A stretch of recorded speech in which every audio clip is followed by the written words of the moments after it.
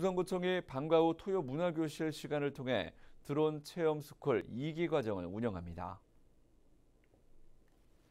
교육은 다음 달 5일부터 9월 9일까지 매주 토요일 총 6번에 걸쳐 진행되며 드론의 정의와 조종기 명칭 등의 이론부터 기본 비행 연습과 장애물 피하기, 호버링 비행과 비행 훈련 등의 실습까지 드론과 관련된 다양한 교육이 진행됩니다. 교육 대상은 지역 초등학교 5학년부터 중학교 1학년 학생까지로 지난 24일부터 신청을 시작해 총 20명의 수강생을 모집하며 자세한 내용은 수성구청 평생교육과로 전화해 문의할 수 있습니다.